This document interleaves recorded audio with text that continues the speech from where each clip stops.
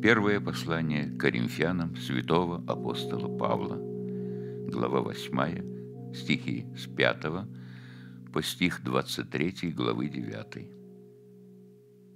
Ибо хотя и есть так называемые боги, или на небе, или на земле, так как есть много богов, и господ много, но у нас один Бог, Отец, из которого все, и мы для Него. И один Господь Иисус Христос, которым все, и мы им. Но не у всех такое знание. Некоторые и до ныне, совестью признающего идолов, едят идоложертвенное, как жертвы идольств.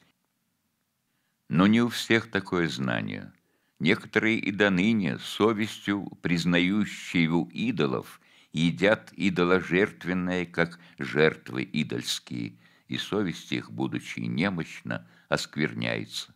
Пища не приближает нас к Богу, ибо едим ли мы, ничего не приобретаем, не едим ли, ничего не теряем.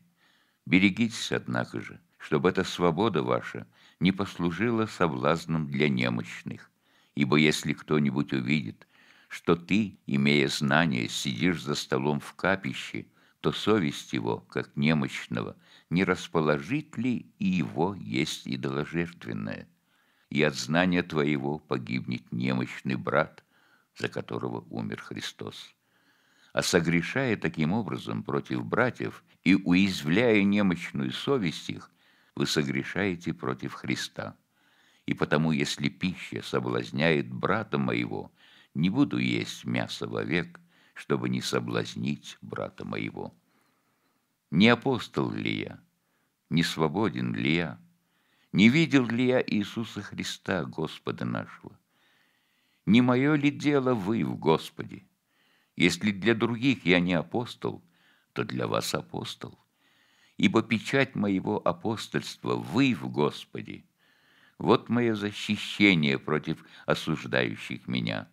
Или мы не имеем власти есть и пить, или не имеем власти иметь спутницу и сестру, жену, как и прочие апостолы и братья Господни и Кифа, или один я и Варнава не имеем власти не работать. Какой воин служит когда-либо на своем содержании? Кто, насадив виноград, не ест плодов его? Кто, пася стада, не ест молока от стада? По человеческому ли только рассуждению я это говорю? Не то же ли говорит и закон? Ибо в Моисеевом законе написано «Не заграждай рта у вала молотящего». О валах ли печется Бог? Или, конечно, для нас говорится? Так для нас это написано. Ибо кто пашет, должен пахать с надеждою, и кто молотит, должен молотить с надеждою получить ожидаемое. Если мы посеяли в вас духовное, велико ли то, если пожнем у вас телесное? Если другие имеют вас власть, не паче мы? Однако мы не пользовались сею властью, но все переносим, дабы не поставить какой преграды благовествованию Христову. Разве не знаете, что священнодействующие питаются от святилища, что служащие жертвеннику берут долю от жертвенника, так и Господь повелел проповедующим Евангелие жить от благовествования. Но я не пользовался ничем таковым. И написал это не для того, чтобы так было для меня, ибо для меня лучше умереть, нежели чтобы кто уничтожил похвалу мою. Ибо если я благовествую, то нечем мне хвалиться, потому что это необходимая обязанность моя, и горе мне, если не благовествую. Ибо если делаю это добровольно, то буду иметь награду, а если не добровольно, то исполняю только веренное мне служение. За что же мне награда? За то, что проповедую Евангелие, благовествуя о Христе безмездно, не пользуясь моей властью в благовествовании ибо, будучи свободен от всех, я всем поработил себя, дабы больше приобрести. Для иудеев я был как иудей, чтобы приобрести иудеев. Для подзаконных был как подзаконный, чтобы приобрести подзаконных. Для чуждых закона, как чуждый закона, не будучи чужд закона перед Богом, но подзаконен Христу, чтобы приобрести чуждых закона. Для немощных был как немощный, чтобы приобрести немощных. Для всех я сделался всем, чтобы спасти, по крайней мере, некоторых. Сие же делаю для Евангелия, чтобы быть соучастником его. Не знаете ли, что бегущие на ресталище бегут все, но один получает награду? Так бегите, чтобы получить. Все подвижники воздерживаются от всего, те для получения венца тленного, а мы нетленного. И потому я бегу не так, как на неверное, бьюсь не так, чтоб только бить воздух, но усмиряю и порабощаю тело мое, дабы, проповедуя другим, самому не остаться недостойным.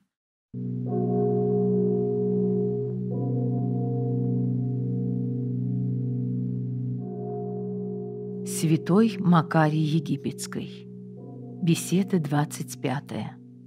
Ком божественный закон не чернилами и не письменами начертан, но насажден в сердцах плотяных, те, имея просвещенные очи ума и побуждаясь нечувственную и видимую, но невидимую и мысленную надеждою, могут преодолевать соблазны лукавого, но только силою непобедимую. А не украшенные Божиим Словом, не обученные божественным законом, напрасно надмеваясь, думают собственную своею свободою устранить от себя поводы ко греху, осуждаемому единым таинством креста.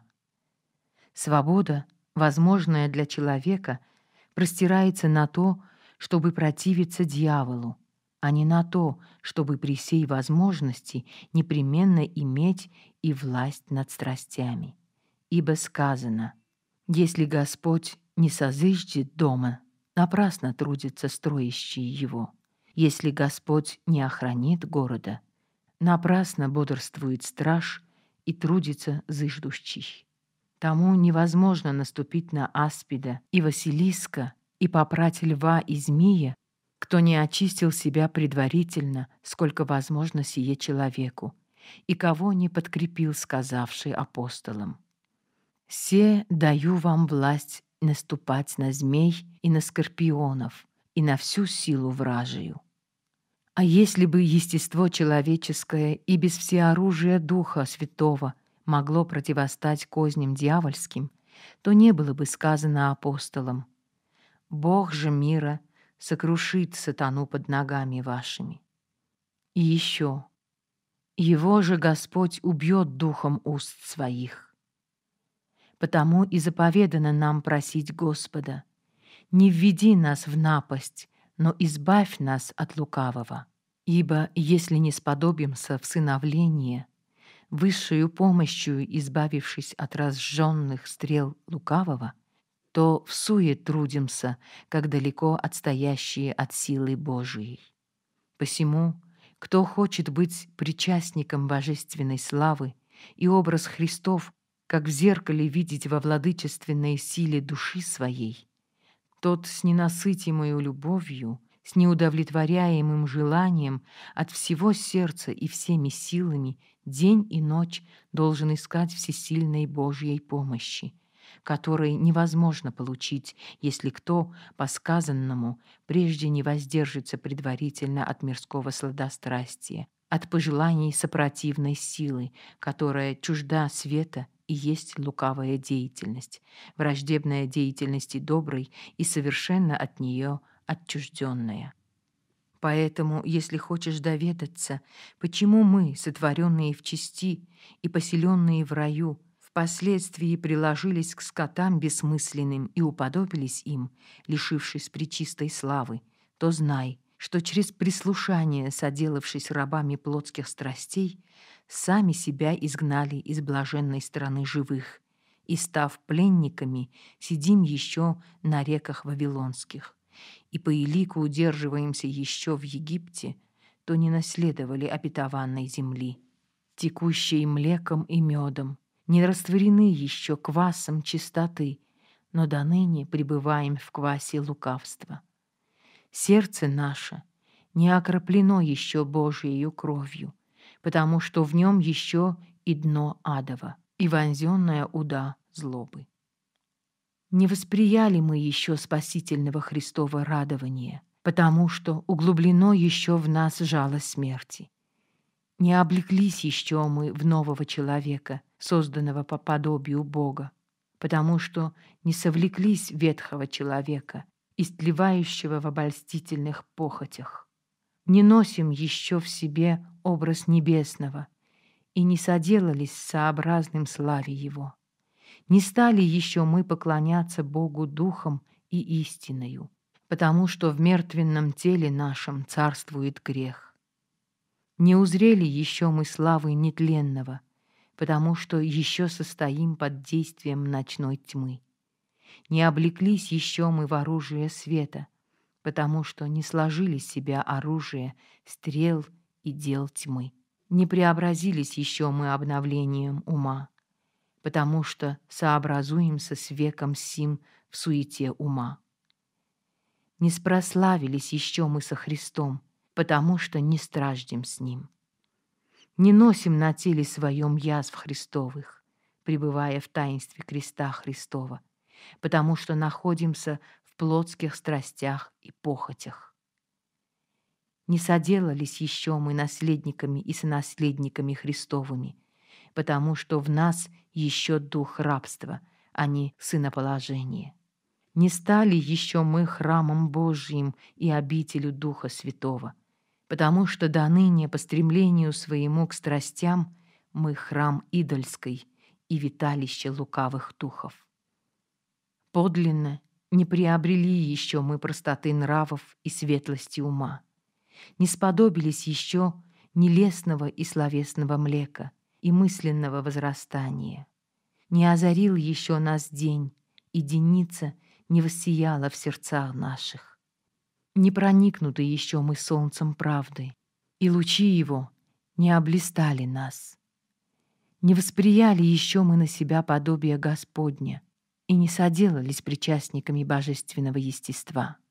Не стали еще мы ни поддельную царскую парфирою, ни ложным Божиим образом — не уязвились еще мы божественную приверженностью, не поражены духовную любовью к жениху. Не познали еще мы неизреченного общения, не уразумели силы и мира во святыне. И выражая все сие в совокупности, мы еще не род избранный, не царственное священство, не народ святой, потому что мы — змеи рождения ехидной. И как мы не змеи, когда не оказываемся послушными Богу, пребываем же в прислушании внушенным змеем. Посему, как при этом достойно оплакать мне бедствие, не нахожу. Как со слезами воззвать мне к могущему изгнать из меня водворяющееся во мне обольщение, не знаю. Как оплачу Иерусалим? Как избегнуть тяжкой фараоновой работы — как оставлю срамное место приселения? Как отрекусь от горького мучительства? Как выйду из земли египетской? Как перейду черное море? Как пройду великую пустыню? Как не погибнуть мне, угрызенному змеями? Как победить иноплеменников? Как истребить в себе языческие народы? Как на скрижали свои принять словеса божественного закона? как узреть истинный столб света и облачный столб Духа Святого, как насладиться манною вечных утех, как испию воды от животворящего камня, как перейду Иордан, вступив в святую землю обетования, как возрю на архистратига Господня, перед которым Иисус Новин, увидев его, мгновенно пал на лице и поклонился ему.